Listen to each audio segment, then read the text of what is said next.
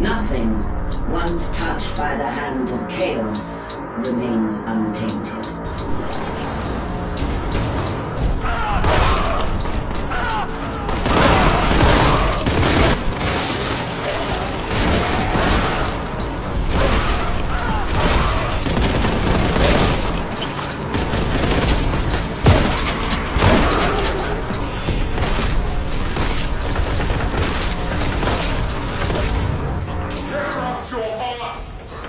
own blood.